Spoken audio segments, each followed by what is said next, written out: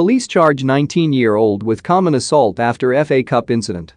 Detectives have charged a teenager after three Nottingham Forest players were allegedly assaulted while celebrating a goal during Sunday's 4-1 FA Cup win over Leicester. Nottinghamshire police said Cameron Toner, 19, of Leicester, has been charged with three counts of common assault and a separate offence of going onto a playing area at a football match. The force said Toner had been released on conditional bail, including a condition not to attend any football stadium on the date of any live football match, pending an appearance at Nottingham Magistrates Court on February 24. Assistant Chief Constable Steve Cooper of Nottinghamshire Police said, We continue to work closely with both football clubs who are supporting our investigation following this incident.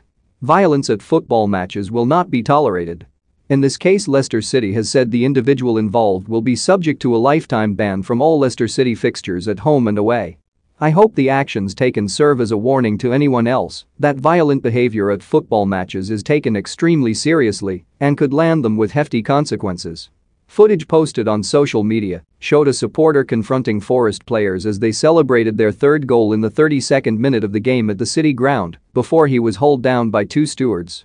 In a statement issued after Sunday's match, Leicester said, the club is appalled by such behavior and offers its apologies to Nottingham Forest and its players whose safety was compromised.